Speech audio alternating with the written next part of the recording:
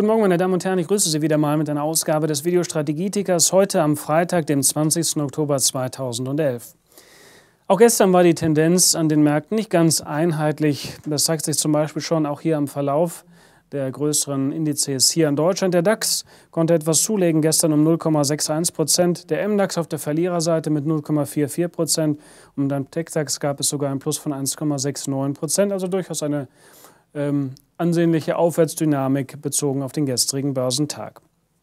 An der Wall Street aber doch eher schwächere Vorzeichen. Der S&P 500 verlor 1,26 Prozent, der Nasdaq 100 sogar 2,03 Prozent. Also hier in diesem Fall eine durchaus ordentliche Dynamik auf der fallenden Seite. Hintergrund für die Schwäche der Wall Street dürfte zum einen der Konjunkturbericht der amerikanischen Notenbank gewesen sein, das sogenannte Beige Book. Ähm, die Konjunkturaussichten für die USA haben sich offensichtlich weiter eingetrübt. Bei den Technologiewerten dürfte gerade auch die ja, Ergebnisenttäuschung, sofern man das so nennen mag, von Apple hier für Gegenwind äh, gesorgt haben. Apple hatte ja sehr, sehr gute äh, Zahlen veröffentlichen können für Umsatz und Ergebnis, aber die Markterwartung war eben doch noch unter dem Strich optimistischer gewesen. Und das ist bei Apple schon eine ganz besondere Entwicklung, ähm, die durchaus bemerkenswert ist. Kleiner Seitenblick vielleicht noch auf die Inflation in den USA. Die Verbraucherpreise zeigten im September, im Jahresvergleich September, einen Anstieg von 3,9 Prozent, also ein durchaus hohes Inflationsniveau. Beim Kernindex gab es einen Anstieg um 2,0 Prozent, auch dies eine Jahresvergleichszahl. Einige Schlaglichter bleiben wir aber dann auch noch kurz in den USA aus dem Aktienbereich oder Unternehmensbereich. Fangen mit United Tech vielleicht mal an.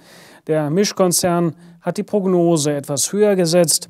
Erwarteter Gewinn nun 5,47 Dollar und damit läge man 2 Cent oberhalb des oberen Prognoserandes. Also eine durchaus positive Meldung. Die Umsatzprognose wurde bekräftigt. Ähm, demnach dürfte der Umsatz um fast 7 Prozent steigen auf 58 Milliarden Dollar. Weitere Aktie oder weiteres Unternehmen aus den USA, American Express. Es gab eine Gewinnverbesserung von 873 Millionen Dollar auf 1,2 Milliarden Dollar. Damit waren die Geschäftszahlen insgesamt eher besser als erwartet. Gleichwohl war die Aktie nachbörslich schwächer. Es gibt offenbar Sorgen, die auch mit der europäischen Schuldenkrise zusammenhängen und vielleicht auch mit der Frage, ob in einer solchen Situation auch weniger konsumiert wird oder beziehungsweise weniger mit Kreditkarte bezahlt wird. Ja, damit sind wir im Prinzip auch schon beim Thema Europa, ein Dauerthema, leider vielleicht. Ähm, es gibt Gemunkel über Unstimmigkeiten von Deutschland und Frankreich in Bezug auf den Stützungsfonds oder beziehungsweise das weitere Vorgehen. Die Regierungen scheinen nun recht fieberhaft an Lösungen zu arbeiten oder auch dem kommenden Wochenende recht fieberhaft entgegenzugehen. Letztlich wird es einen Hebel für den EFSF aber wohl doch geben.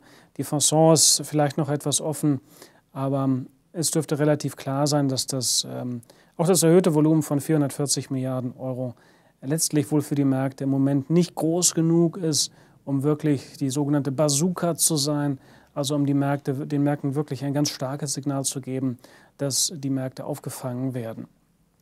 Ziel sollte natürlich sein, privates Kapital wieder in den Ring zu locken.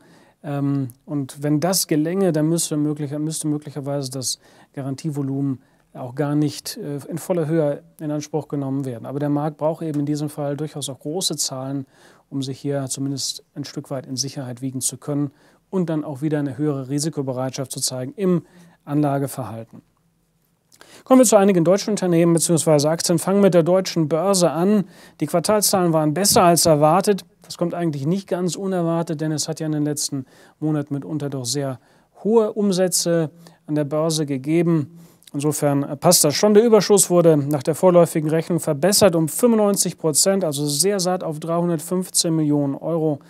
Ähm, bereinigt um Kosten für den Zusammenschluss mit der NICE und dem Effizienzprogramm ergäbe sich beim, oder ergibt sich beim Überschuss ein Anstieg um 44 Prozent, ebenfalls ein sehr ordentlicher Wert, auf 245 Millionen Euro und dies bei einem Umsatzanstieg um etwa ein Fünftel auf 605 Millionen Euro.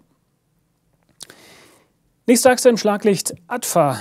Das äh, Unternehmen konnte bessere Zahlen vermelden als erwartet, zumindest was das, ähm, also unter dem Strich würde ich mal sagen, der Überschuss wurde verbessert von 2,4 auf 9,7 Millionen Euro, also in etwa vervierfacht. Allerdings sind darin auch ähm, Sondereffekte enthalten, zum Beispiel Währungsgewinne und auch mindestens ein Steuerertrag. Aber auch beim Betriebsergebnis konnte man sich etwas verbessern von 3,3 auf 4,4 Millionen Euro.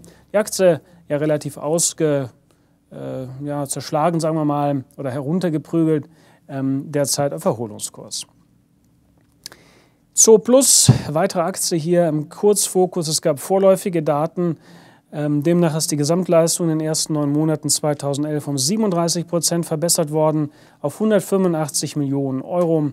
Der Umsatz gegenüber Vorjahreszeitraum wurde um etwa 43 Prozent hochgefahren. Das sind eher Vorabzahlen oder vorläufige Zahlen. Den vollständigen Bericht soll es dann am 18. November geben. Damit sind wir beim Terminkalender angekommen. Für heute war bzw. ist angesetzt Deutschland, Erzeugerpreise September. In Bezug auf die Eurozone die Sitzung, die Ratssitzung der Europäischen Zentralbank. Dann am Nachmittag unserer Zeit eine Reihe von Meldungen aus den USA. 14.30 Uhr Erstanträge auf Arbeitslosenhilfe für die Woche. Dann um 16 Uhr unserer Zeit ähm, mindestens drei Meldungen, nämlich Verkäufe bestehender Häuser September, Frühindikatoren September und Philadelphia Fed Index Oktober. Abschließend zur Strategie. Die Berichtssaison liefert ein durchaus ausgewogenes Bild, also nicht nur negative Signale, es hat ja einige Warnungen gegeben, sondern auch durchaus positive Signale, positive Schlaglichter. Und zu diesem generellen Rahmen beachten Sie bitte auch die Seite 1 im Frankfurter Börsenbrief von dieser Woche, denn äh, lassen Sie sich von den negativen Nachrichten, die zum Teil vielleicht ein wenig Angst machen können, äh, nicht zu sehr verunsichern, denn zum aktuellen Markt Bild und Marktumfeld gehören eben nicht nur diese negativen Betrachtungen und Risikofaktoren, die es zweifellos gibt, auch, aber es gehören eben auch die positiven Seiten mit dazu. Und äh, entsprechende Chancen sollte man dann eben auch konkret nutzen. Wenn sich konkrete Signale ergeben, ähm, konkrete Stories ergeben, sollte man hier durchaus auch investieren. Allerdings, und das gilt weiterhin, bitte nicht alles Pulver verschießen. Lassen Sie sich auch ein Stück weit Liquidität da, damit sie handlungsfähig sind. Denn, ich hatte es eben schon angedeutet, Risiken verbleiben natürlich und sie sind durchaus auch groß und substanziell. Ähm, die Politik hat nun eine ganz wichtige Rolle und steht nun dem, unter dem sehr großen Druck, nun auch wirklich liefern zu müssen. Das war's für heute, meine Damen und Herren. Ich wünsche Ihnen einen guten Börsentag. Ihr Walter Thyssen.